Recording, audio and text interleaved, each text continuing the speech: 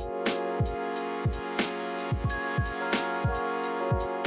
So today we are partnering with uh, South Carolina Department of Employment and Workforce, SC DEW, uh, for a community job fair. And this is an opportunity for residents in our community to come out and see available jobs, meet one-on-one -on -one with potential employers, also go through workshops such as interview skills, resume building, and dressing for success, and then they can actually apply for jobs on site. We've got the SC Works van out here where people can meet with a career coach, apply for jobs, um, and really just get connected with uh, resources to help them get gainfully employed.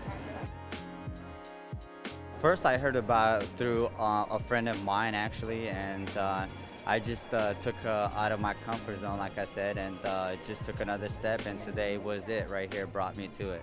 It just gave me a, a whole presentation, you know, from every angle, not just one, but many, you know, and I like to see the versatile uh, and just everyone in one building unity and saying, hey, uh, you're not forgotten, we're here to help.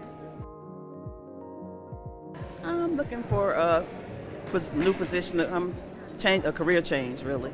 I saw it advertised on the WLTX and I said, okay, they have a lot of different prospects. So um, I thought I'd go out and just take a chance to see what happens. You get a lot of information and um, like I said, you get that one-on-one from the actual hiring manager or, you know, just being around the people.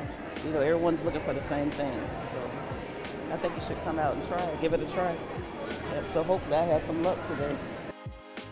When we open doors, uh, we had 40 people in line waiting before we got uh, before we opened the door, and since I've been here, it's been nonstop people coming in. One thing this definitely shows us is that there is certainly a need for this in our community, and not just a need, but as partners from SC DEW said, a want. I mean, people want to work, um, and I think unfortunately there's been a narrative that people are home uh, collecting unemployment and don't want to work. But there are people who want to work. But we also have to understand that sometimes there are obstacles and barriers for people being gainfully employed.